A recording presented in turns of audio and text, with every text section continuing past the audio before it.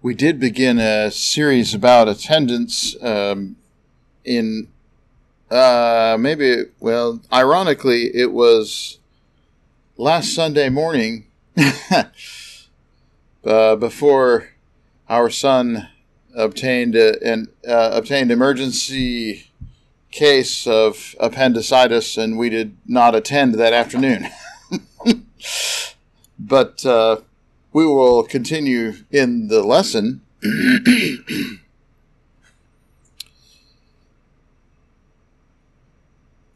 which is really about what is stopping you. Uh, you know, what keeps you from serving, what keeps you from from coming. Um, and we talked, you know, I, I might remind you about the paraplegic in Mark 2 who was brought to Jesus on a pallet by four friends and uh, you know it was pretty hard to keep him from from from coming. And that was before the miracle. That was just when jesus was teaching. They wanted to be with him. They wanted to hear him so badly that even when he was teaching they went to the trouble of opening the roof and lowering their friend on a pallet to Jesus so he could hear. He was pretty hard to stop.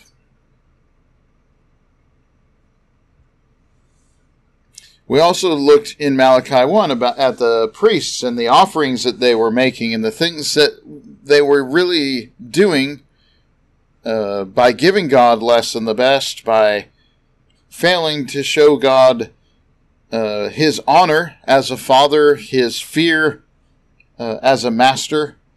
If he is the master, shouldn't we be afraid of him being displeased with our choices? Kind of idea. If he is our father, if we say he is our father, shouldn't we honor him with our service? And does it honor him when I don't attend? Um, it depends. Uh, there may be a reason that you cannot attend if you have a communicable disease, for example it is glory to the Father that you do not bring that and share that with your brothers and sisters who may be uh, subject to severe illness or even death. That may actually be the case.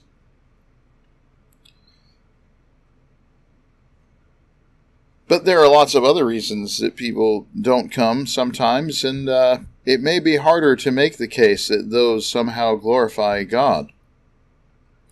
We talked also in Hebrews 8 about the fact that in the New Testament, as opposed to Malachi 1, we are spiritual priests, but we're under a new covenant, a new agreement with God, with better promises and a better Savior, better mediator on our behalf. And this means if the priests were held to account in Malachi 1 in this way, how much more we who offer spiritual sacrifices, Romans 12 1 of right living to him. And also, the great thing, I, I would say, the, the greatest thing about that passage in Hebrews 8, the 12th verse I will be merciful to their iniquities, I will remember their sins no more. Our covenant is so much better because we can be forgiven. So you're not coming if you will, to the worship of God, to the service of the Lord, uh, you know, for your weekly beatdown.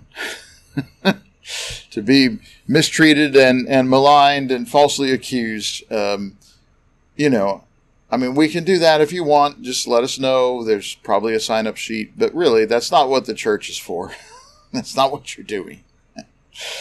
you are coming here because uh, you worship God and you serve God and you know that that's, that's what he wants for his people is to assemble and to give him thanks and praise and glorify him in this way.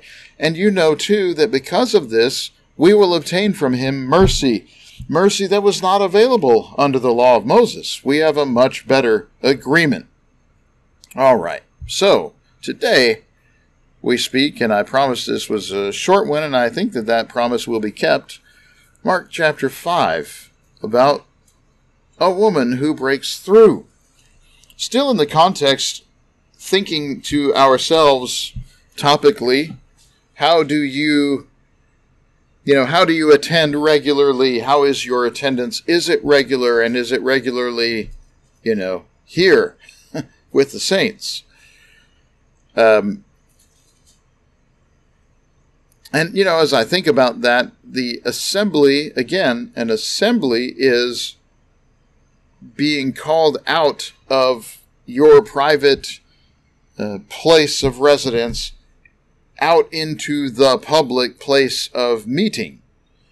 So you're not assembled, if, if you will, if you're watching um, online. If you're watching on YouTube or you're watching on Zoom, it's great to do. We do that and go to a lot of trouble, frankly, to make that happen because we think it's encouraging and beneficial to people who are stuck at home and would like to be with the with the saints. They can at least sing along with the songs and pray along with the prayers and and get a good nap in during the sermon. Um, you know, without having to be embarrassed by that or caught. No. all right, all right. I caught some people paying attention. Mark 5, though, um, does not require an assembly. What this is about is how you, even though you assemble, are doing something individually. And what we're talking about is this account, which begins in verse 25. There was a woman who had had a discharge of blood going on 12 years. And this goes all the way down to 34, by the way. It's Mark 5, 25 to 34. This woman has been suffering discharge of blood for 12 years. That is a lot of iron. This woman is very weak. She is hurting, okay? She suffered much under many physicians, we are told, and had spent all that she had and was no better, but rather grew worse. This can happen.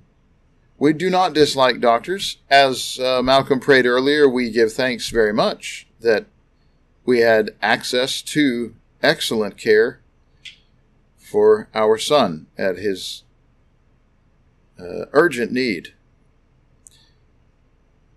But the fact is, they're only human and they can only do so much. And the current state of knowledge can only address so many things. We, other things we maybe don't know how to do or don't know how to do well. So, yes, she suffered much. Many different physicians had taken a, an approach to deal with this, but nothing had worked, and she's out of money. Which typically means you're stuck. But she heard reports about Jesus, which is one of the things that the gospel goes uh, pains to tell you prior to this in Mark 5. Earlier in Mark, he goes to the trouble to tell you how that the fame of the Lord is spreading all over uh, the country in Judah, Israel, such as it is, but also to the neighboring uh, Gentile countries, the ten cities, Decapolis, and other things like this. So this woman heard the reports, and she shows up to see if she can get healing. He came up, she came up behind him in the crowd and touched his garment. So there's a large group of people about the Lord. One of the things you read in the Gospels is that he asked his disciples to prepare a boat and push offshore a little bit because he was being crushed from all sides by the crowd. So you get this picture in your mind. She shows up, and that's what it looks like, but she sneaks, if you will, behind where she's not going to draw attention and it's not going to be noticed so that she can touch his garment. That is, you know, the the uh, they would wear cloaks. So something long, something not, you know, not so close, but close. Why does she do this? Because she said in her heart, Mark 5:28, if I touch even his garments, I will be made well. Now that is faith. She knew that he had the ability to heal. But this is real faith that he doesn't have to know about it. He doesn't have to be bothered with it. All I've got to do is touch the, the garment and I will be better. That's all it's going to take. She does. She has faith that she doesn't have to ask him, she doesn't have to put him to trouble, to touch her, to bless her, to do anything. If she can just get a finger on that cloak, that will be enough to heal her. And she's right. Immediately the flow of blood dried up, and she felt in her body she was healed of her disease. Now, the other thing that I find interesting in Mark 5:28 is she worked her way through the crowd with all that weakness and I mean with all that iron deficiency, 12 years of iron deficiency. And she worked her way through the crowd to get close enough to just to lay a finger on the hem of a garment.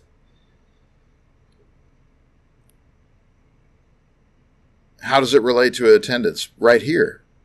How close do you want to be to the Lord? Now, I don't say this in the Catholic sense of this is a holy place and God is in it and not, you know, outside the window here, but inside the window he is. You know, no, no, no, no. But truly, in worship, we commune with him. In the Lord's Supper is a communion with him, a sharing with him. We, we come together. So, yes, worship is coming close to God, not in proximity, not in in place, it, it but in spirit. And again, the question is how close do you want to be? What are your needs in the spirit? And are they being met?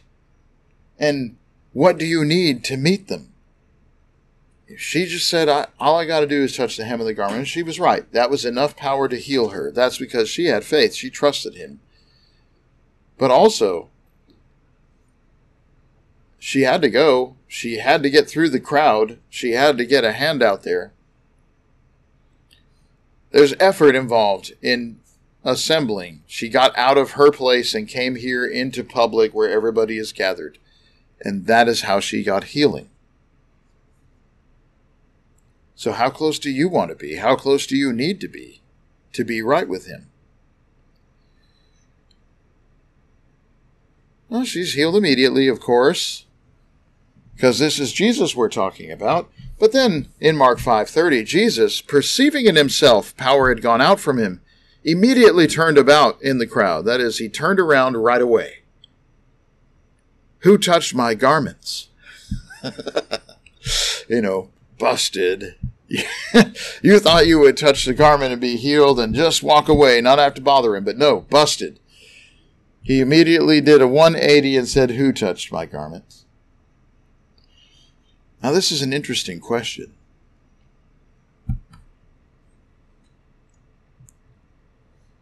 The disciples, his disciples, probably the 12, said to him, Well, you see the crowd pressing around you.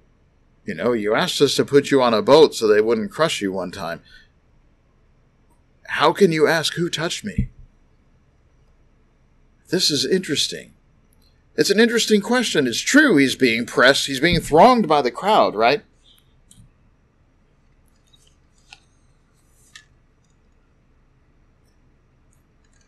But suddenly, with all the all of these hangers on, all of the throngers here in the mosh pit, no, it's not a mosh pit, but you know, all this stuff going on, whatever's happening there may may or may not have been orderly. People are coming for all kinds of reasons, I'm sure. Whatever that may be, somebody touched him. And it wasn't everybody who touched him. That's the point. They're all there. They're all in proximity. As the disciple said, look around the crowd is pressing in on you. Like if you're in the middle of this and you turn around and say, Somebody touched my garment, well, yeah. About a dozen of them touched your garment in the last, you know, 15 seconds, at least. So why why this question? What is he asking? You see? This is the point of worship, of coming together. There is a bunch of people present, but there was only one who touched him. That was the person who came here with faith and with purpose. and reached out to the Lord. Right? We asked, How close do you want to be? She, had, she wanted to get close enough just to touch the garment. That's good enough. But really, what we should ask is, How close do you need to be? Because everybody was there, everybody was touching him.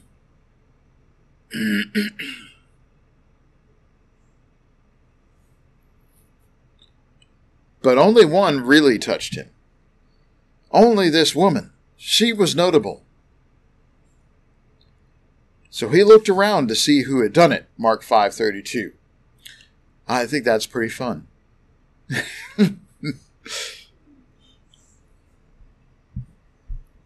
because you and I know that he already knows this. It's for our benefit that he does this. Back in Mark chapter 3, when he was in the synagogue with the man that had a withered hand, he was healing the man's hand behind his back. And he asked the crowd in the synagogue, remember? Is it right to do good or to do harm on the Sabbath? And he looked around at them all. That's Mark 3 5. He's in the synagogue, he's doing this round robin. Who is going to stand up for the truth here? Anybody? Any takers? And that's what he did. And he was grieved at their hardness of heart. But here, she has been healed and he knows it. And she's back here and he knows it. Turns around, looks to see who had done it. But this time somebody comes forward. Right? The woman, knowing what had happened to her, came in fear and trembling. Why? Because, as the Lord said in Malachi 1, if I am a master, where is my fear? He is a master. That's why. You should be afraid. She came in fear and trembling and fell down before him, afraid that he might be mad, or she might have done something wrong, been, uh, you know, not not done the right thing, you know, not approached him. It's reasonable and appropriate. But she fell down before him and told him the whole truth. This is what has happened. This is what I did. This is why I did it, right? And he said to her, Daughter, your faith has made you well. Go in peace, be healed of your disease.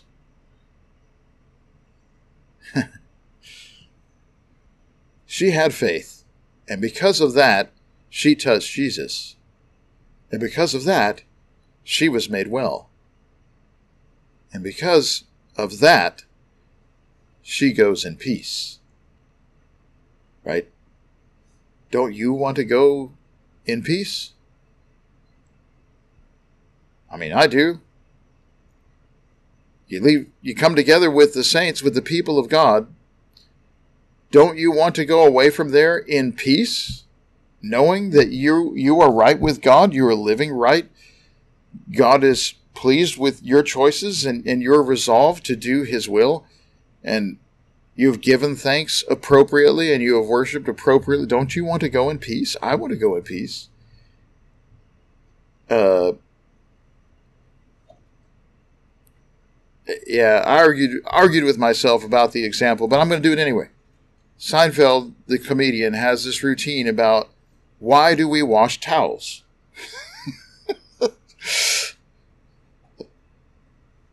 you just got out of the shower. They couldn't get any cleaner than they are. There's nothing on you. Why are we washing them? Right? And it's just the whole idea of yeah, I would like to think that this is the fresh start here. This is not, I'm walking away with baggage. I'm walking away with things that need to be dealt with, with confessions I need to make, repentance I need to do. No, you, you're not. This is the, you just got out of the shower, in some sense. You're going in peace because you've worshiped acceptably, but you've also taken that time, you know, to think. When you take the Lord's Supper, you examine yourself. Right? There's there's thought in this. You if there's something that's amiss, as a Christian, you know, as a child of God, if something is amiss, you should deal with it. If there's some question or something that's bothering you, you're afraid is a sin, answer it. And answer it immediately if possible. Why put something like that off? If you're, you're concerned about something you have done, repent. Repent, change your heart, resolve to do His will, and know that our God is merciful and that our covenant is better and that He wants to forgive you and that He will. And you can go your way in peace because you are at peace with God in the Spirit. You are forgiven.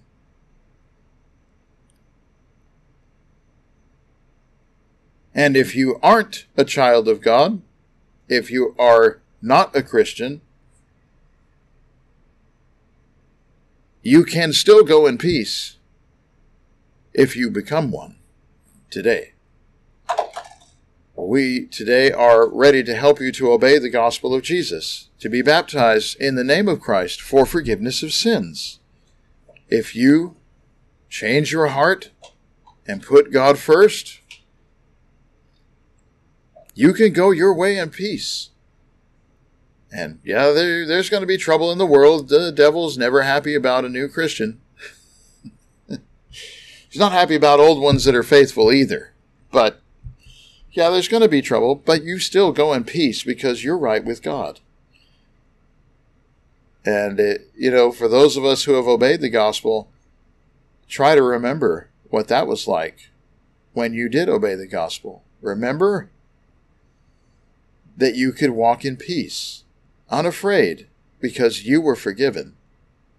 You knew you were forgiven. You were right with God.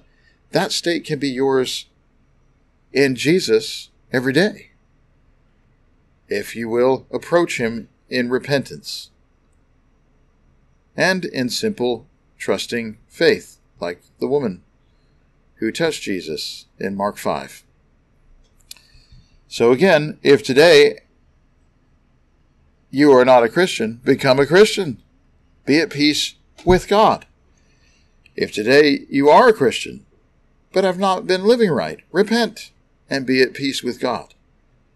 If something is amiss between you and your brethren, go to them. Go to somebody, whoever it is that you have a problem or a question or an issue with. Go with go talk with them. Don't let that fester.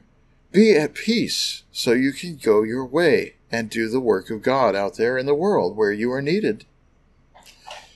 If we can help you with our prayers, if we can help you to obey the gospel, please let your need be known by coming to the front while we stand and sing the song selected.